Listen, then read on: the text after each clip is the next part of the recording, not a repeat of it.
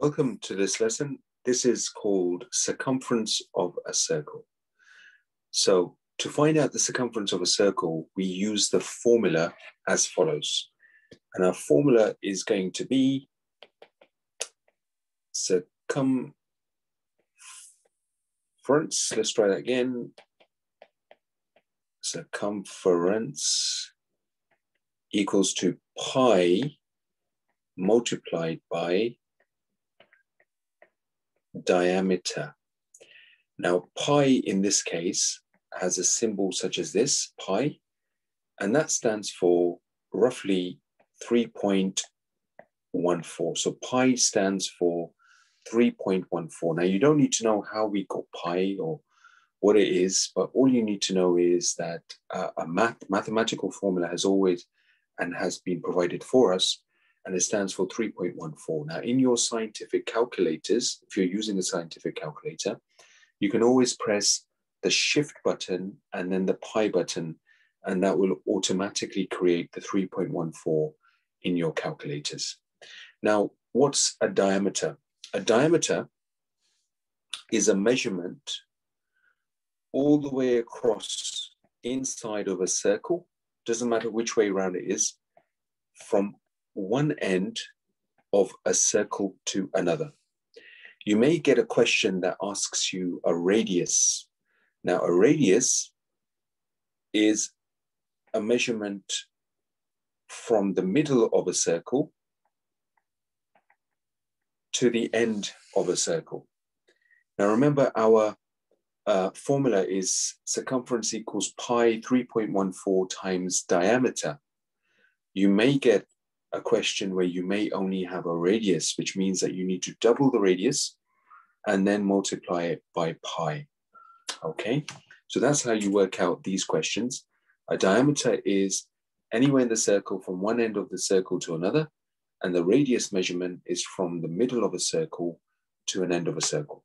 And please do remember this formula, pi times diameter is the measurement of how to actually work out uh, circumference of a circle. Now here, in this question, we've already got the diameter that's been provided for us.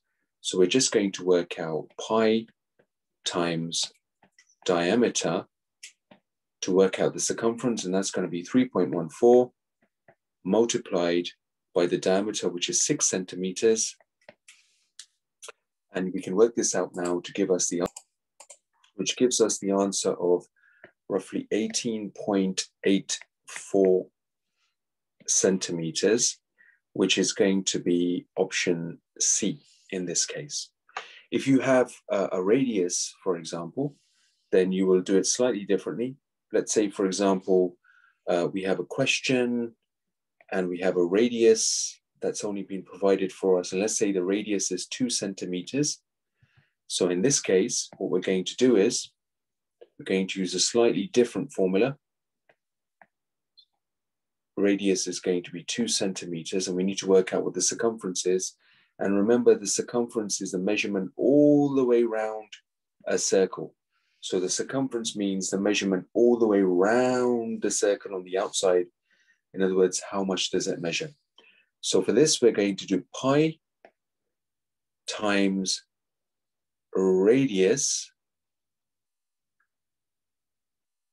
times radius. So in this case, it will be the case that you're going to do 2 multiplied by 2 times by 3.14, or you just double the radius. So double of 2 is 4. So we know that 2 times 2 is 4. 4 multiplied by 3.14. And that will then basically give, which will be around about 12.56 centimeters. So the measurement all the way around this particular circle, so all the way from here, all the way there, again, this is the circumference, is going to be 12.54 centimeters. Okay, so either way, you'll get a question based on diameter or radius, and you use these formulas. Good luck with the rest of these questions. Thank you.